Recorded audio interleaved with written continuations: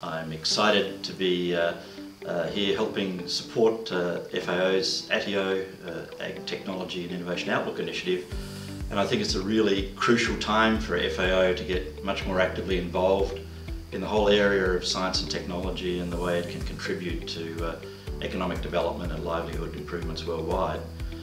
Um, I tracked investments in the food and agricultural research area for my career uh, and the sense is that we're at a, at a, a real watershed moment with, res with respect to uh, science and technology policy. We've got a big shift in who's carrying out that research, uh, the increasing role of the private sector, and so we need a rethink with respect to the public sector as to how they can creatively engage with the private sector to promote innovation uh, and technical change in agriculture. Uh, we've got a big shift in the geography of where agricultural research takes place. Uh, there's a huge growth in uh, research in large agricultural economies like Brazil and India and China.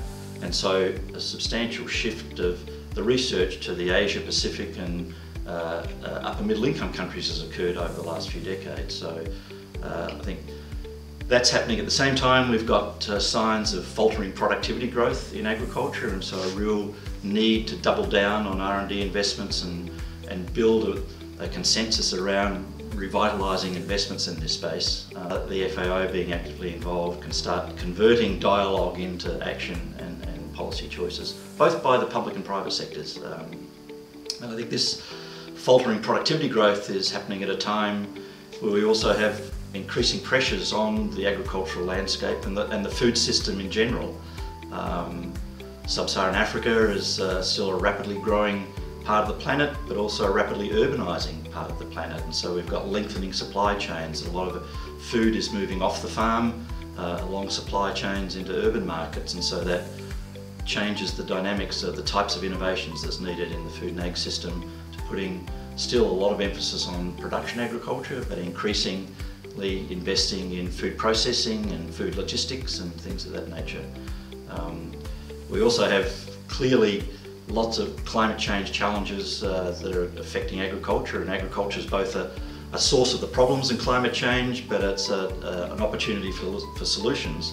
Uh, but again that's going to require rethinking agricultural innovation to have more sustainable production practices which uh, adds even further to the need for, for much more investment in this space. There's uh, been a lot of work by disparate professionals around the world with respect to, to uh, investments in uh, food and agricultural research. Uh, my sense is uh, FAO through its ATIO initiative can really play a catalytic role to, to, to bring all of those threads of efforts together and contribute from within the organisation. But I think fostering a sort of uh, data and uh, evidence-informed debate and conversation about not just the amount of investments in food and agricultural research, but the types of investments that are required uh, and particularly given this sort of unfortunately growing global divide that I see in the evidence between the scientific haves and the scientific have-nots. So whilst the, the, the, upper middle income countries and the, and the richer countries have got substantial investments in this space, the lower income countries are not only stagnating but they're actually falling behind.